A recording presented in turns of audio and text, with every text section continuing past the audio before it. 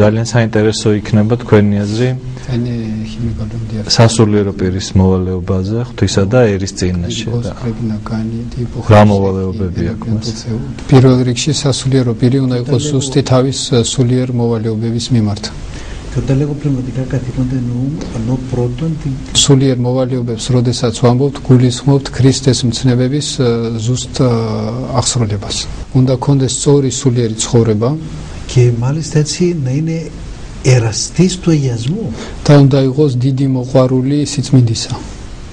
რომელიც უნდა გძნობდეს და გამოცდილებით შეიგრძნობდეს საფრთხო წირვას.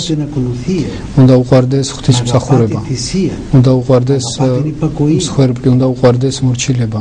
να αγαπάει την, δηλαδή να, να προσφέρει συνεχώ ανιδιοτελώς στο ποιμνιό του. Ο Άγκαρο του να κάθεσαι γαμουδισμებულად τავს თავისი სამწყსოსთვის. უნდა იყოს მწყემს სიკეთილი. είναι άξιος μιμητής του αρχιπίμενος Ιησού Χριστού. უნდა იყოს მწყემს მთავარი იესო ქრისტეს ზუსტი მიმბაძველი.